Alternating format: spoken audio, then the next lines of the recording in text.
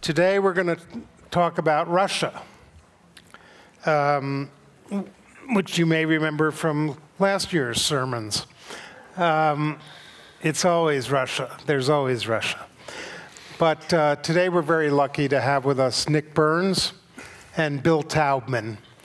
Uh, Nick was uh, ambassador to NATO, ambassador to Greece, Undersecretary of State for Political Affairs.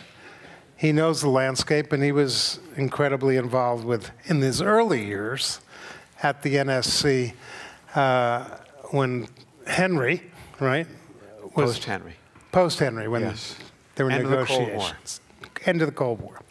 Anyway, Bill Taubman is um, uh, perhaps, not perhaps, is the, is the preeminent historian of modern Russia uh, alive today. And, um, it, and I can say that because I'm the moderator. Uh, also because it's true. Um, and I want to tell you, uh, begin with an anecdote. In the old days, when I was at Time Magazine, in the 90s, we decided that we were going to uh, make Mikhail Gorbachev Man of the Decade. Time Magazine had never done this, you know, it does Man of the Year. But we felt so strongly about Gorbachev that we were going to declare him Man of the Decade. I was part of a group of five or six journalists who went over to Russia, spent about a month there researching, writing, speaking to Gorbachev and other people. And we came back and wrote a very, very lengthy uh, uh, article, which actually took up most of the package of articles, which took up most of the magazine. And of course, we wrote it in that, what you're, if you recall Time magazine, that breathless, omniscient Time style. And then I read recently Bill Taubman's biography of Gorbachev and realized that we didn't know anything. and I mean anything. Bill, um, first leave aside the fact that only two of us in this group spoke Russian, which we arrogantly thought didn't matter at all. Um, but seriously, Bill is a real historian. He had access not only to documents, but to the people who produced those documents.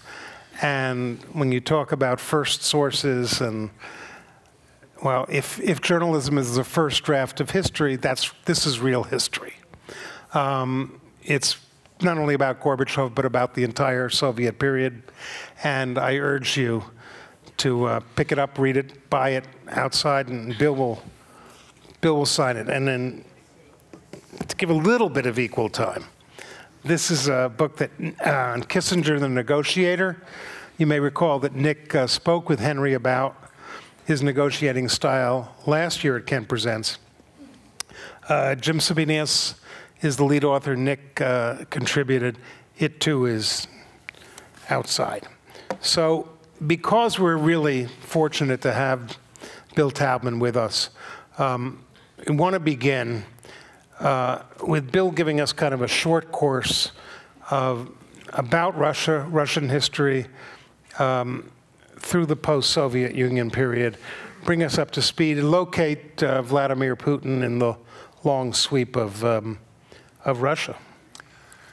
As I understand my assignment, I'm going to talk about how the old Cold War ended and how the new Cold War that we find ourselves in today began.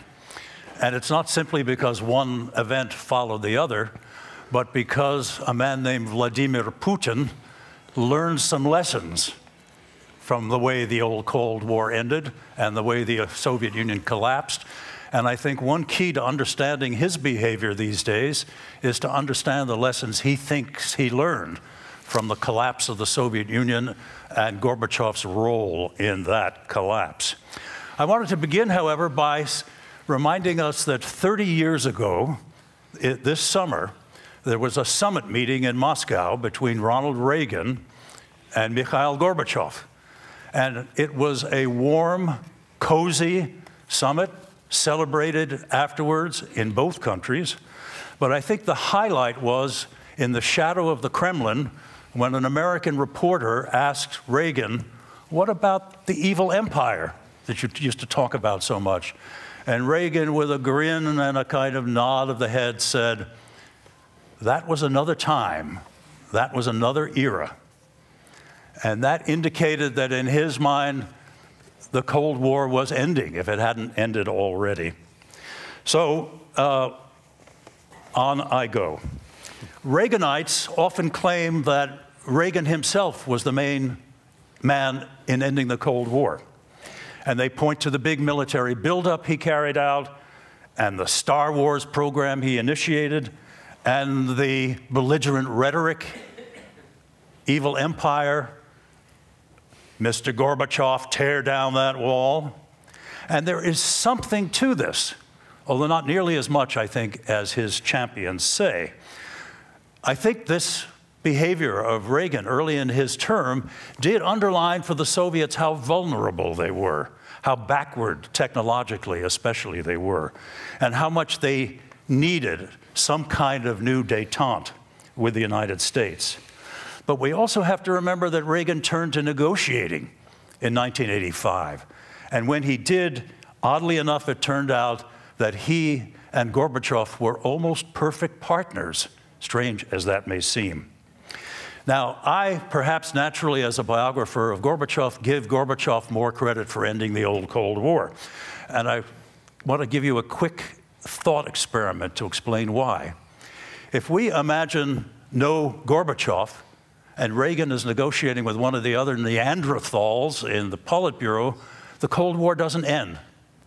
If we imagine no Reagan and Gorbachev negotiating with, say, George Bush, I think the Cold War ends. I think Gorbachev was the key. Um, he was unique, and this is very important to understand, among Soviet leaders. The other Politburo members who appointed him their leader in 1985 wanted moderate reforms of the Soviet Union. He wanted to transform the Soviet system. They wanted to ease the Cold War. He wanted to end the Cold War. He was in the Politburo, he had only three supporters out of the 12 to 15 members of the Politburo. All the others turned against him. And those three supporters would only have, were only there to support him because he had either appointed them or kept them on. Now, in my book, I talk about how Gorbachev became Gorbachev, how the regime made the mistake of appointing him its leader, how he and Reagan became almost perfect partners, how and why he tried to democratize the Soviet Union and failed. Uh, and if you're interested in buying the book, I will be outside later to, si to sign it uh, in the hall there. But suffice it to say, at the moment, that both policy and personality brought Reagan and Gorbachev together. The policy that they both shared, the goal that they both shared, was the elimination of nuclear weapons. And there aren't too many other leaders who have wanted to do that or have taken that seriously. And I think Professor Kissinger, who was here yesterday, was not one who wanted to do that, nor was Margaret Thatcher. But at any rate, they shared that hope. And the other thing was a kind of mix of their personalities. They learned to like each other and to trust each other. Now, why did Gorbachev fail why was he ultimately ousted? Why did the Soviet Union collapse? And what lessons did Putin learn from that?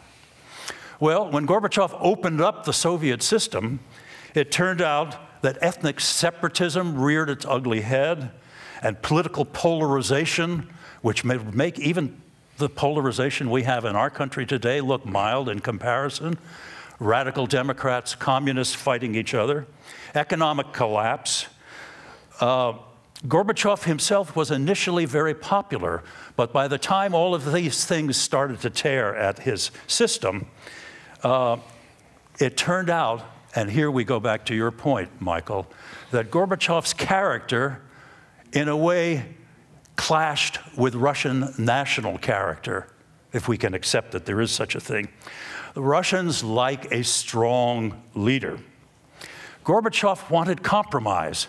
It turns out that in the Russian language, which my wife, who's sitting in the first row, taught for 50 years in Amherst, compromis is a negative. It carries a negative uh, connotation. Gorbachev sought consensus. The Russian way is to break through by force if necessary without waiting for consensus to form. Gorbachev talked a lot, too much. Russians tend to like strong, silent type leaders. And the two particular examples of things that Russians held against him that are most striking that we came encounter with was people would say, You know what's wrong with Gorbachev? He listens. and another thing they said was, You know what's wrong with Gorbachev? He changes his mind. We think of these things as virtues. Yeah. They, not all of them, but a lot of them, thought of these as vices and sins. Okay, let's move Gorbachev off stage and talk very briefly about Yeltsin and his partner, Bill Clinton. Yeltsin, in many ways, wanted to continue Gorbachev's efforts at democratization and encouraging of a market economy. It didn't bother him that one way he encouraged the development of democratization was to bomb the parliament, which he did, Yeltsin did. And of course, the shock therapy that he administered to the Soviet economy turned out to be more shock and less therapy. Things ended very badly with the uh, economy cratering and with the United States being blamed by many Russians for the advice we gave them in the 90s as to how to privatize an economy. And Russians, often being wedded to conspiracy theories, not only took the collapse, the further collapse of the economy following some of our advice, as an unintended consequence, they took it to be an intended consequence that we wanted them, we wanted to weaken them in order to destroy them. And the first sign of Russian unease with NATO expansion occurred under Yeltsin in the first tranche of NATO expansion in 1999. Which brings us to Putin. There is some evidence that in the beginning, Putin was more open to democratization in Russia and to a open relationship with the United States. I could quote, but I won't, two statements of his, I'll paraphrase them. In 2001, in a conversation with the Secretary General of NATO, Lord Robertson, Putin said, We want to be part of Western Europe. That is part of Russia's destiny. Well, he's certainly not saying that today. And in another exchange, he said, We would even like to talk about becoming a, a member of NATO. Well, that, of course, is not part of his of his uh, rhetoric today. It wasn't long before things went south, and domestically he became the authoritarian leader that he is today, taming the press, taming the parliament, taming the oligarchs, and in foreign policy, of course, seizing the Crimea, invading Ukraine, intervening in Syria, and meddling in our elections. Now, I just want to say very quickly that he attributes this to his disillusionment with the West, and he cites various things that we've done that provoked him to do these things. One is the expansion of NATO. A second is the bombing of Yugoslavia in 1999. A third thing is the Iraq War of 2003. A fourth thing is what we did in Libya, where we got United Nations authorization to save the people of Benghazi, but ended up cooperating in the ouster of Gaddafi. And the fourth thing is the colored revolutions in Georgia, in Ukraine, the so called colored revolutions, rose, orange, and even the Arab Spring, which he insists we were plotting, we were behind them.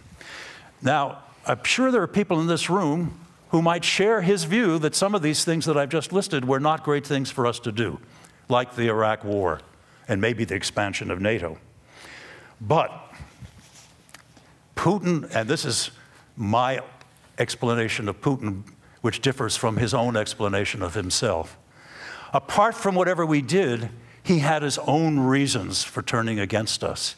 He had his own reasons, he had a need for an external enemy to justify what he was doing at home.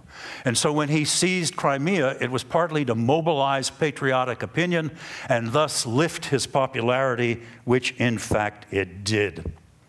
And the other thing about Putin that explains his behavior, which has nothing to do with us, is his KGB background. He learned, like the cop on the corner, that life is rough and tough. He is a man who believes that everybody lies and cheats and steals. And so when we say we don't, he thinks that's total hypocrisy. Uh, of course, we do some of that too, but I don't think we do as much as he does. Uh, so, in the end, one might say, as Michael hinted, that this Russian political culture, consisting of this notion that they need a strong leader, and reflecting, as Putin does, his experience with dog eat dog battles within the Soviet system, that is what contributes to his popularity, and that is what, in part, did Gorbachev in. The final thing I'll say is that the latest polls that I've read this week is that his popularity is dropping. And that's partly because of some of the reforms that he is trying to carry out, which involve, for example, raising the age of retirement from 60 for men to 65 for men, and women from 58 to 63. So we'll see what happens. But that's where things stand. And before I turn it over to Nick, I just want to note that I have not mentioned the name Donald Trump. right. But, but we'll get Nick will. we'll get into that because we want. Well because we really want Nick to this, take this phenomenal setup, this phenomenal understanding of of Russia as Russia and Putin as Putin, without regard to to uh, whatever we have here in the United States, and ask Nick to bring us even further up to speed and flesh it out for us. Thank you, Michael. Um, good afternoon, everyone. Uh, I'm very pleased to be here with Professor Taubman. We had not actually met until about 40 minutes ago, um, but I've always uh, had very, very high regard for him. I agree with Michael. He's our greatest historian on Russia in the United States. And if you have not read this book, you've got to read it. I read it uh, last year, about the time I was at Kent. I then reviewed it for the Boston Globe, and it gave me insights, and I'm someone who worked at the NSC for five years at the end of the Cold War, between 90 and 95. So I was the young man sitting at the end of the table with President Bush taking notes, observing Gorbachev, but it filled in a lot of information, particularly about the infighting behind the scenes in Moscow that we were aware of but didn't know about in specifics. It's a, it's a beautiful book. So um, run, very, don't, run don't walk to the signing table. Um, so let, let, me just, if I could also just step back yeah. and say, as a diplomat, um, the Russian Revolution broke out 100 years ago, 1917, 1918. We've had no more difficult relationship with any country in the world over the last 100 years than, than with the Soviet Union and modern Russia. I mean, just think of it this way uh, we intervened in the Bolshevik Revolution to try to defeat it. We had American troops up in the Russian Arctic in 1919 20. The Harding, Coolidge, and Hoover administrations refused to talk to the Russians, to the Soviets, to Lenin and Stalin. It wasn't until FDR came along that we opened with Ambassador Bullitt our embassy in Moscow in 1933. We had four brief years where we were allies uneasy allies, competing allies, but allies against Nazi Germany, and then 45 years of absolute Cold War rivalry, which went to the brink in October 1962. We came very close to destroying each other in that month and that year. And then we had really, uh, in the, in the period that, that Bill has written about, between 1986, 87, and maybe 1995 with Gorbachev and Yeltsin, I would say a partnership of sorts. We considered ourselves to be friends. The United States under President Reagan, particularly under President George H.W. Bush, then President Clinton, supportive of these reform efforts, very supportive of Yeltsin when he became Russian president. But for the last 20 years or so, with a couple of vignettes where Putin's offered to help us on terrorism, we've been rivals. So think of this relationship. It has not been a good relationship. Maybe it's because uh, of the fact that we're both great powers, we're continental powers. And maybe it's also because we've argued over Europe, and that's my second point. For the United States, beginning with Wilson, 100 mm-hmm. years ago at Versailles and his ill fated proposal for the League of Nations, for FDR's dream at the end of his life for a democratic peace in Europe. And I think every American president since FDR, with the exception of President Trump, and I have to mention President Trump, has believed that a democratic peace in Europe, the survival of democracy and a peaceful Europe, was just about the most vital thing that we could undertake in the world. Russia has been our opponent for most of the last 100 years in that effort to unify Europe, to keep it peaceful, and to keep it aligned with the United States. So, of course, we've been competitors with Russia, if you think about it in that dimension. That's why we expanded NATO. That's why Bill Clinton and George W. Bush and Barack Obama expanded NATO. It became clear to us by 1995 96, for some of us earlier, and we all wanted Yeltsin to succeed, that he probably wasn't going to succeed.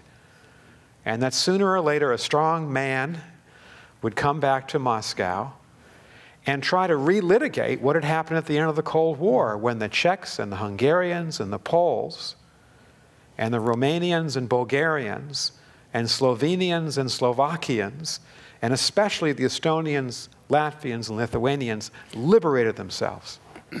the latter three from the forcible incorporation over 50 years in the Soviet Union, the others imprisonment in the Warsaw Pact. When they liberated themselves, it meant that this long held dream that we had for United Democratic Europe could finally be realized. And we were thinking in the Clinton administration, I was President Clinton's special assistant for Russia, that this was our chance. That the Russians would come back and try to reimpose their will, not to conquer these countries through military expansion, but to hold them under their sway, to seek strategic depth south and west of the Russian borders. As the Romanovs and Stalin and the Soviet premiers, Khrushchev, Brezhnev, up to Gorbachev, had tried to do. So we expanded NATO. And I know that you know, people like George Kennan, who could believe this was not a good thing to do, we invited George Kennan to the White House mm-hmm. in 1994. Uh, he had first worked there in 1927, he informed me when I met him at the front door of the White House. So you had to respect his extraordinary intellect and the expanse of his relations, he thought it was going to be the wrong thing that we'd drive the Soviet, the Russians to oppose us. Tom Friedman, friend of many of ours, did the same. But I'm convinced, I think a lot of us are convinced who served in those administrations of Clinton and Bush and Obama that we did the right thing. If we hadn't expanded NATO, you can be sure that Estonia and Latvia would have been assaulted by now. Estonia, one quarter of its population ethnic Russian. Latvia, one third of its population ethnic Russian. We did the right thing. And we have preserved the freedom of about 125 million people in Eastern Europe because of what we did in those three administrations. I agree with Professor Taubman. The Russians didn't like what we did, of course. In the second round of NATO enlargement, which was 2002 and 4, I was the US ambassador to NATO. So I, in effect, negotiated this with the Russian government. We didn't negotiate it, we informed them. And we let them know ahead of time. Why negotiate with them? It wasn't their choice. Mm -hmm. We didn't want them determining the fate of the East Europeans as Stalin had after Yalta.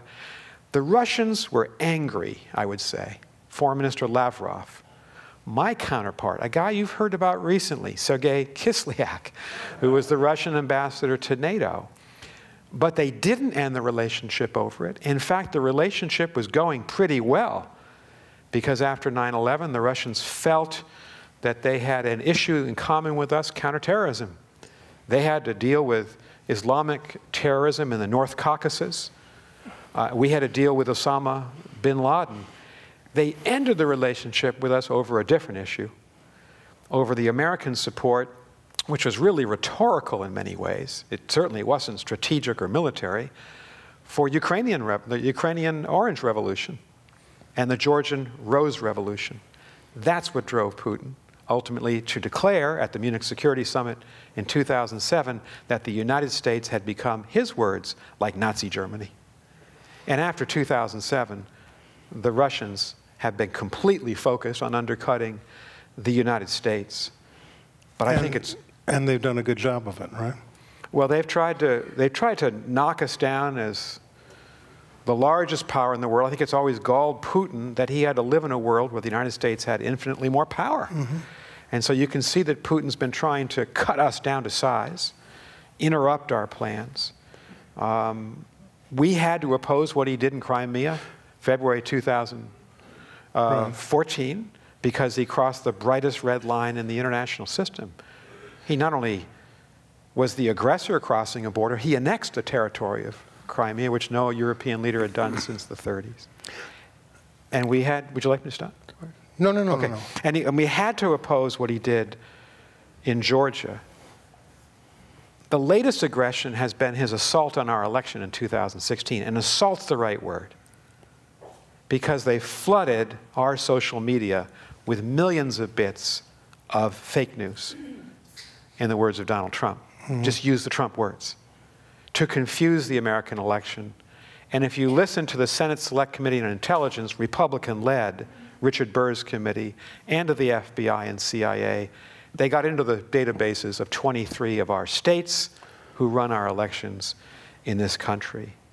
And I would say that the fundamental fault of President Trump is not to stand up to Putin in that in assault on the United States on our democratic system Let me, and on our election. And I think that Trump has Trump is a singular figure in the history of the last 100 years. He has failed to recognize we have a competition with Russia underway. And it's a big competition, and the Russians are waging it. And Trump believes somehow that by being buddies with Putin, look at that Helsinki press conference, this is going to protect the interests of our country. The reverse is true. Putin respects power, but he doesn't respect weakness. Um, let me let me just uh, take this a little further in, in this sense. Um, I really don't want to uh, get into a psychological analysis of Trump's affinity for strong men or why he might, whether or not he's in Putin's pocket, or any of that. Some of it may come out in the Mueller investigation if there's actual activity that warrants criminal charges or, or impeachment. Um, I want to step back to a geopolitical argument attributed to Henry Kissinger. But even if it wasn't Henry who uh, offered it to the White House, um, the notion that in the larger world, with the rise of China, it's wise to try to cozy up, so to speak, to Russia, to be a counterweight to the rise of China, much as Henry and Nixon did with China as a counterweight to the Soviet Union. Does that have any charm for you as a, as a rational argument? Please. That's your. Um, you're, but I want to hear your. You're, you're the, G, well, the let's diplomat. go. Let's both offer our view. Yeah. It won't work. It won't Russia, work. Russia is, has the GNP of Spain. Russia has nuclear weapons and a space program for the GNP of Spain. It's, it's not a counterweight to China. The answer to the China challenge is for the United States to seek, in a way, partnership with China in some issues, managing the macroeconomic mm-hmm. situation in the world, working together on climate change, which President Obama tried to do, and then competing with China to maintain our geostrategic position in East Asia through our alliance system. That's the answer. But the Russians, the Chinese will never see the Russians as some kind of counterweight. The counterweight to China is the American alliance with Japan and our new strategic relationship with India, which is a very broad military mm-hmm. relationship, and our alliance with Australia. That's the counterweight, but it's not Russia. Things have moved on since Kissinger's brilliant triangular diplomacy of the early 1970s. Do you think, is there anyone that you, either of you are familiar with in the uh, intelligence community, in the State Department now, in the NSC, who has any sense of these strategic issues? John Bolton doesn't seem to. He sees war everywhere. I mean, where are we? Who's thinking for Trump? Well, to be fair, you have in, you have in Jim Mattis a, a, a soldier statesman, an intellectual uh, who's steeped in history, Secretary of Defense. Uh, you have in Mike Pompeo someone who doesn't have that background, but he's hard headed. That's a good thing to be. Mm-hmm. He's, he's tough minded. He's not Trump. And despite my own battles, and they were considerable with John Bolton, when we served together in the Bush administration, we did not see eye to eye. He's a very smart man. And he does not favor the triumph of either Chinese authoritarianism or Russian authoritarianism. But Bill, you may have views on this. Well, I was, I was going to pick up on um, really one of the main themes of Nick's presentation, and that's this notion that if you look back over the last hundred years of U.S. relations with the Soviet Union and Russia, you find only about six or seven years when we and they looked at each other as friends and partners. Mm-hmm. And in that sense, you could see the Putin uh, turn in Russia to authoritarianism from democratization and the return to Cold War as a reversion to the norm.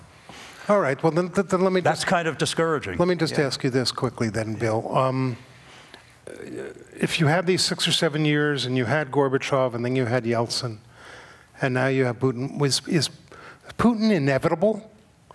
Is something seriously in the Russian character that made it uh, impossible for anyone like Gorbachev to last long term, and therefore a Putin had to come out?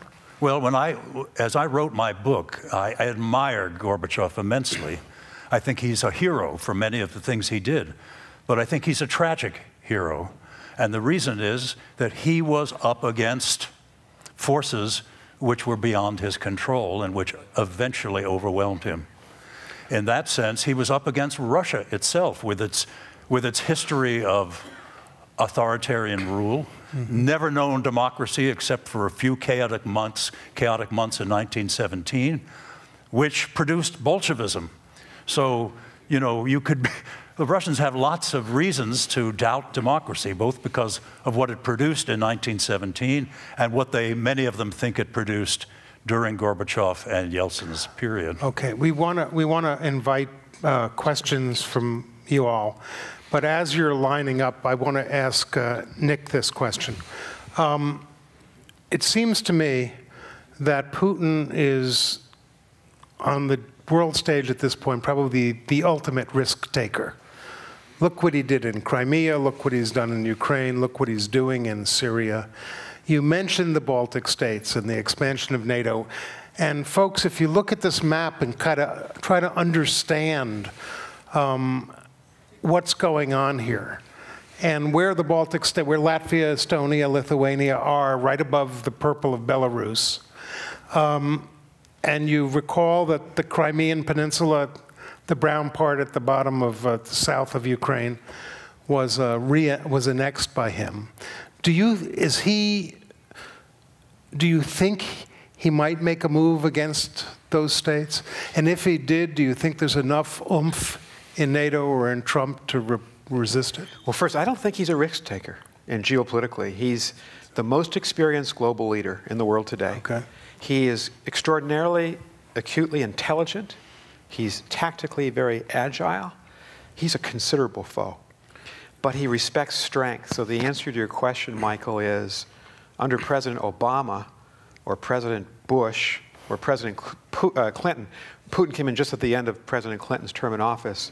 There's no way that Vladimir Putin would invade the Baltic states because he would know that that American president would bring down Article 5, the American military commitment in NATO, to these countries.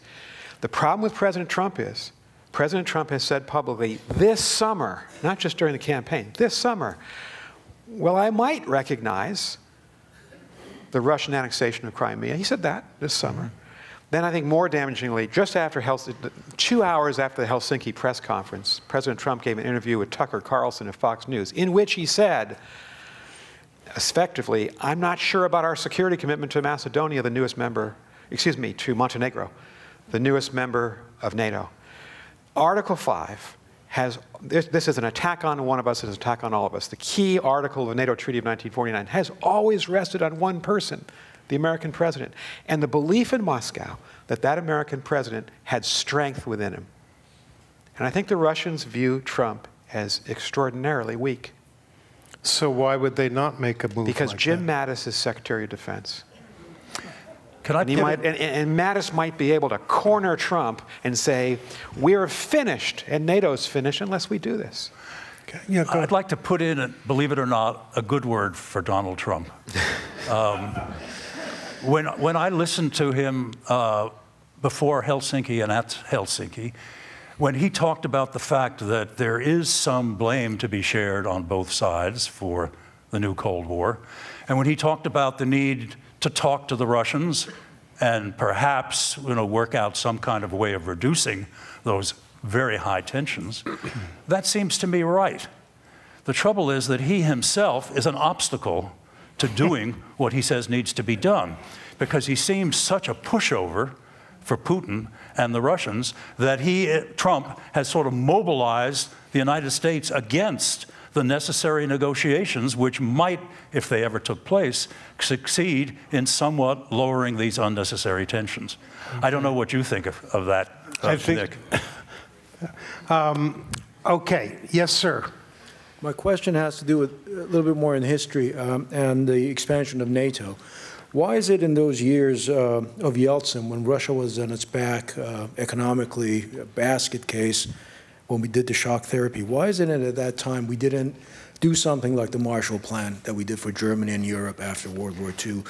And in fact, bring Russia into NATO instead of the smaller countries. I know why we did the smaller countries to save and have, have freedom in that part of Europe, but why not Russia? Why not try to tame it in those uh, Did you Clinton years? understand?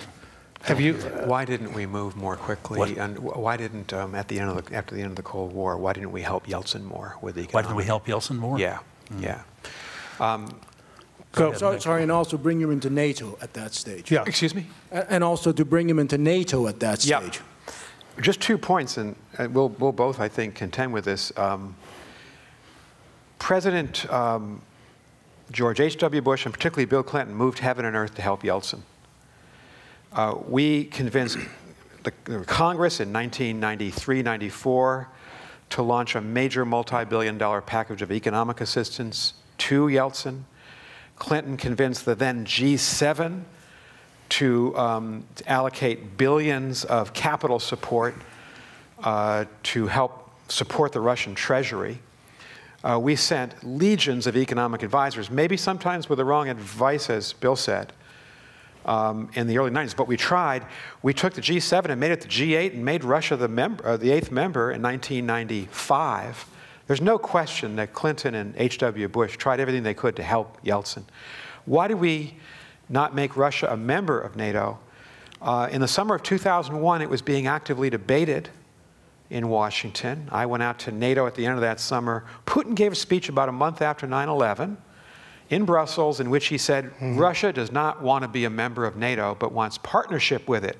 By the following spring, April of 2002, we'd established a formal NATO Russia Council. We gave the Russians a compound inside NATO headquarters. Sergei Kislyak became Russian ambassador. I was his counterpart. We met every week, the, Russia, the NATO ambassadors with Russia. We did projects together. We fell out with them for the reasons that Bill explained, uh, and then I tried to explain as well. Russia never wanted NATO membership when push came to shove. It, was, it's, it considered itself to be too great a power to be one of 27, 28 countries. let me running. just, um, before, before Yeah. I go back to you, I'm sorry, go Can- ahead. I'd, I'd like to respond to that question by slightly changing it. Yes. And that is, the, why didn't we help Gorbachev more?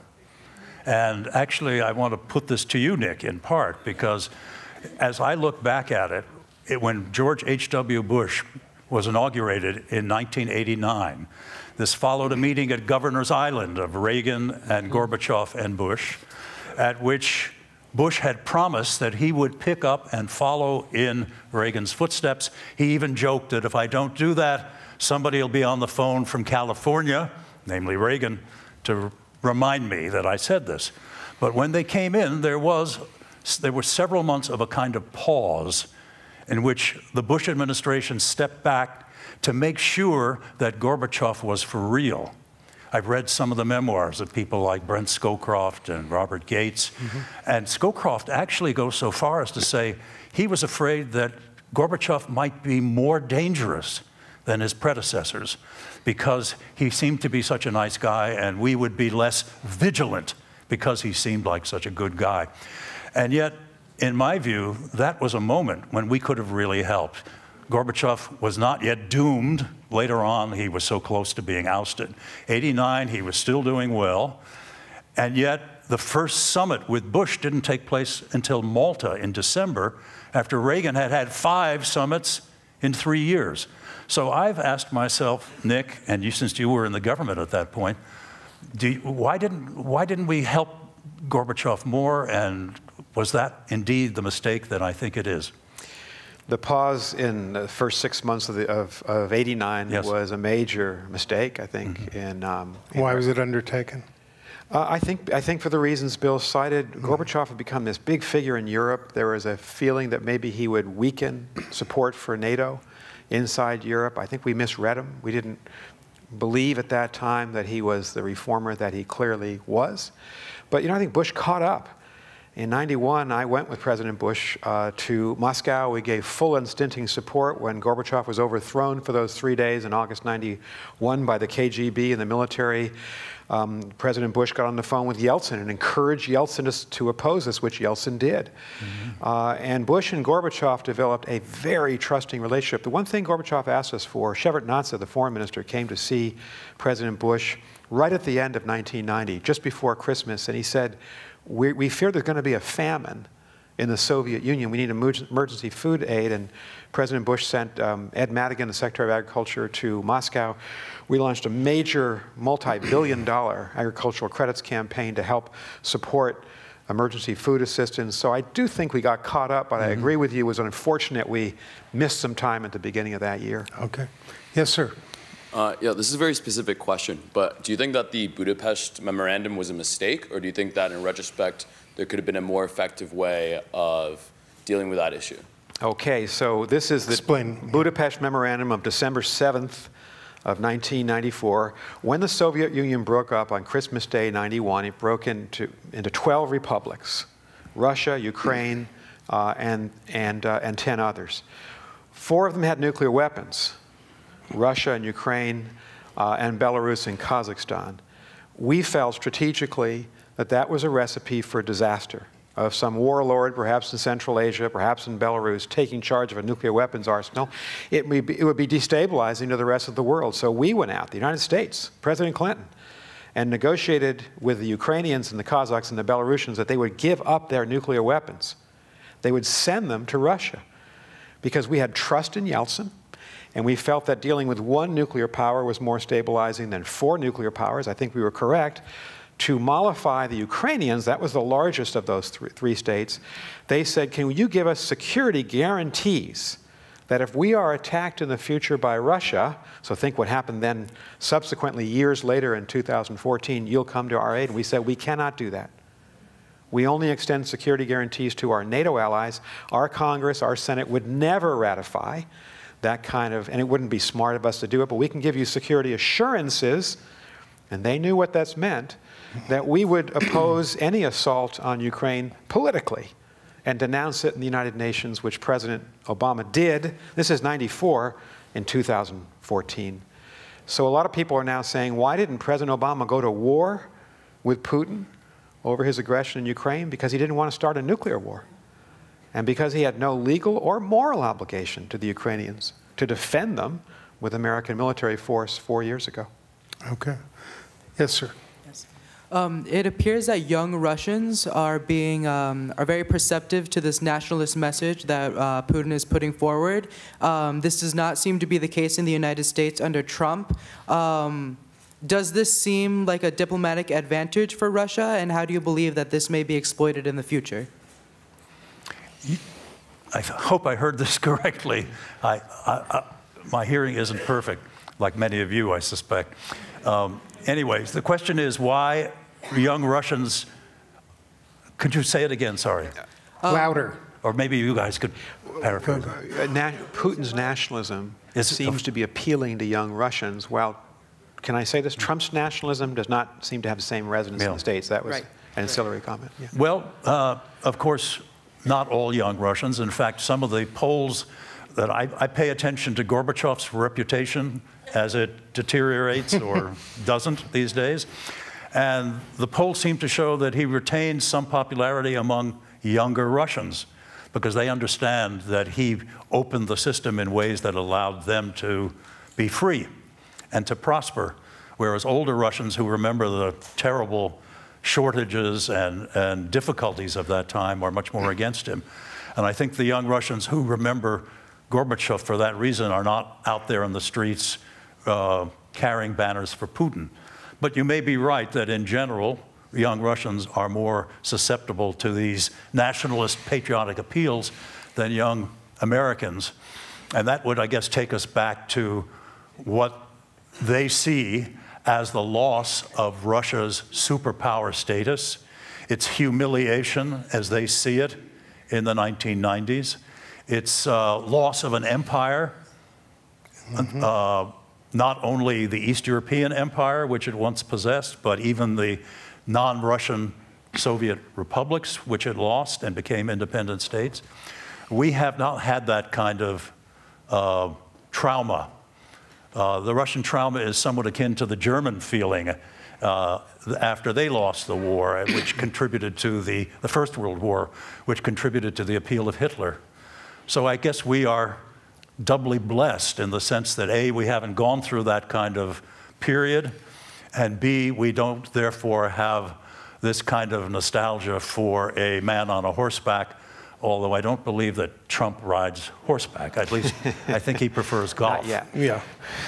yes, ma'am. Um, so in my most paranoid moments, I feel like um, Trump is not only kind of giving Putin what he wants, but he actually wants Putin to kind of breach our nation, our nation, and uh, you know, bring in authoritarianism, bring in white supremacism, and you know, actually kind of open the doors to a real change in our country.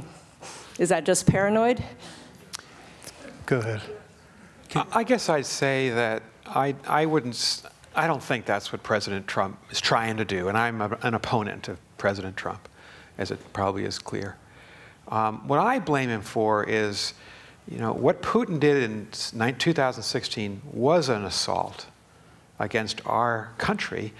So the president's first obligation is to defend our country. And because the president is so self centered and can only think of himself, his failure to defend us because he fears that if he gives any legitimacy to this claim of Russian interference, it will delegitimize his own election. Because our intelligence community said he, the Russians intervened on behalf of the Trump, not, well, to favor Donald Trump. Perhaps in collusion, perhaps not in collusion. I think that is a. Um, I think President Trump is failing to exercise the duties of the presidency by not defending us. I, I, that's how I read this. I don't think President Trump is trying to establish an authoritarian state, but I do think he has authoritarian tendencies himself. Since we are now talking about Trump's psychology, uh, it, it might make sense to talk for a moment about Putin's psychology as well. As a biographer, both of Khrushchev and now Gorbachev, I try to understand my subjects psychologically, even though I'm not a professional. I don't have to tell you about Trump's narcissism, but I will say something about Putin. When Putin first became president of Russia, there was a kind of autobiography that was published. It's called First Person in English.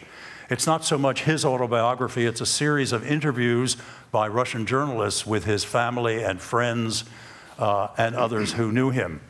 And there's an interview with his uh, elementary school teacher which I think is very suggestive.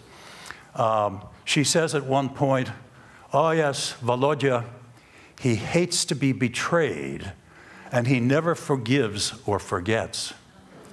And then there's another passage in which Putin himself remembers uh, the apartment building in Leningrad, which he, where he grew up, which is a very modest building where he and the other boys in the building would engage in fights in the courtyard. And he describes a scene on the landing outside his apartment where he's chasing a rat across the landing. And he chases the rat up against a wall. The rat suddenly turns on him, and he sort of smashes the rat, or he, he closes a door in order to, to dispense with the rat. So if you take this picture of Putin, who is used to fighting with rats and never forgives or forgets when he is betrayed, and you think of Trump, who I don't know whether he's ever fought with rats, but he's certainly consorted with some of them. Uh, but he, but he, he too doesn't forgive or forget when he's betrayed.